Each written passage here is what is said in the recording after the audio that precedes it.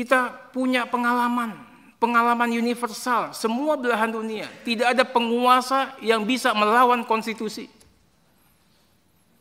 Kejadian kemarin sangat memalukan. Sudah kita ingatkan di dalam rapat balik, apakah keputusan ini sudah tepat, sudah benar, sesuai dengan konstitusi. Tapi sudah kita ambil suatu kebijakan. Malam hari Pak, saya dapat info, inilah setiap kejadian buruk pun ada hikmah positifnya. Akan ada gelombang masa, tapi pagi harinya Pak Andak, saya curiga.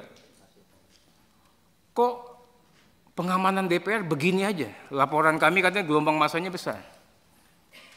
Makanya saya bilang, ini ada sisi positifnya. Kok tiba-tiba jam 10 paripurnanya ditunda? Ini sisi positifnya Pak. Ya. Siang hari bisa-bisanya pagar DPR diceretelin, nggak ada yang menghambat.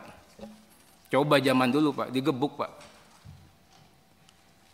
Sorenya mahasiswa masuk, dibiarkan saja. Kalau ada gesekan dikit, saya bilang sama Pak Kapolda, ini kasihan ini Kapoldanya. Di satu pihak dia harus humanis, di pihak lain dia harus amankan ini, objek vital negara. Kerja keras. Kesimpulannya apa Pak? Ini saya bicara apa adanya ini. Saya sampaikan juga ke banyak teman-teman. Ya, ini, mohon maaf ini, kalau nggak ada Pak Prabowo nggak bisa kejadian Pak. Kesimpulannya apa?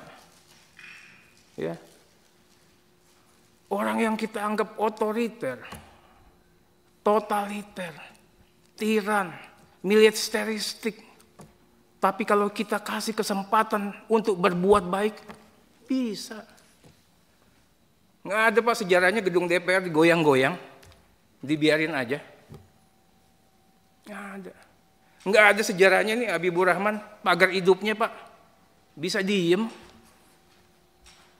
Kalau nggak ada perintah. Saya bilang mahasiswa, iya kalian hebat. Kalian membantu kami. Tapi kalian juga harus kasih ruang sedikit. Bahwa pemerintahan baru yang akan berkuasa punya niatan baik untuk kalian.